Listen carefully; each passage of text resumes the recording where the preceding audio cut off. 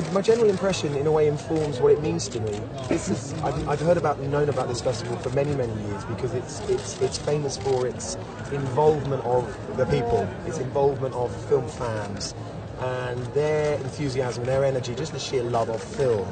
To me, creates a, a real festival spirit. It's not a festival of uh, uh, uh, media and uh, um, um, business. You know, it's much more in letting the fans enjoy the cinema. So for this particular festival to recognise me is a real honour, and um, I think also just the passion uh, the Czech people have for film um, really means means that the award uh, sits in a very special place.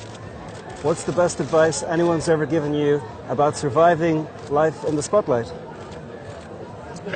Um, don't take yourself too seriously. You are involved in the new Martin Scorsese 3D project, Yeah. the invention of Hugo Cabret. Yes.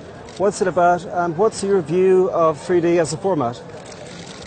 The the book is um, about a young boy who is living uh, undercover in Gare du Nord in Paris, and through a series of events, uh, starts a relationship with an old man who has a very mysterious past. And as the relationship unravels, you realise that you have um, the birth of cinema and the meeting of magic and cinema. Um, and I play Hugo's father.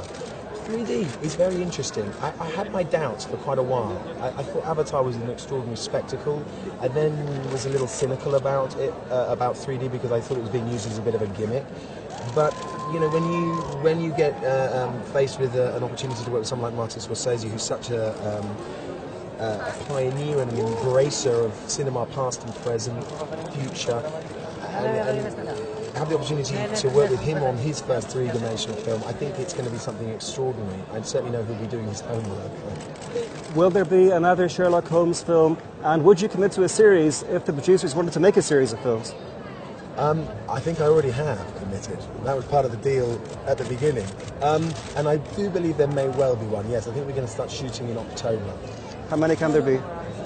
Well, there are 16 books, but I don't think we're going to be making 16 films. And one at a time.